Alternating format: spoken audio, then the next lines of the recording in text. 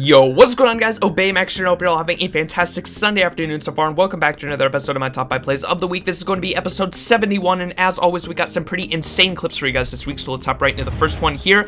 Coming in at 5th place this week, we've got 4 here, taking us back to some MW3 on C-Town, heading straight over to the alley spawn shot here. He's going to jump over the railing, drop down, and then pick up this quad collateral, a pretty nice clip by U4, especially just because I don't see too many quad collaterals in that spawn shot spot right there. Pretty nice clip by U4, but moving on over to our 4th place this week, we've got a Wabi here playing some Ghost Drop Zone on Tremor, a map you actually don't see too many sniping clips on, but he's going to take out one guy on the ground and then go in on their team, quick scoping them all, picking up this 5 on with the rolling 7-man overall. Good shit to you, Wabi, but our third place winner this week is going to have to go to Wolf here, also playing some Ghost Drop Zone, this time on Freight. He's going to turn around this corner right here on the fence and pick up this kill, then swap snipers to pick up another kill, swap again, picks up another kill, and then swaps one last time to get a collateral for that very clean and sexy 5 on. Fucking epic clip by you, Wolf.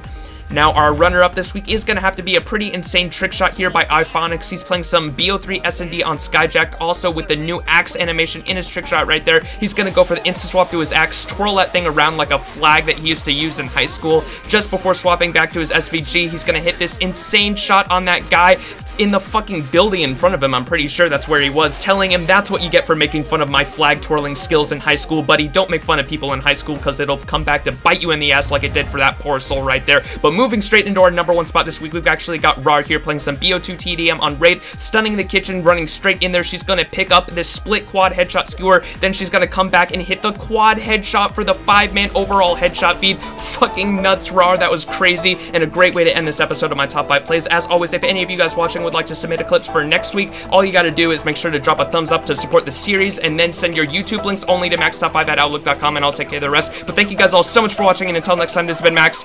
Peace.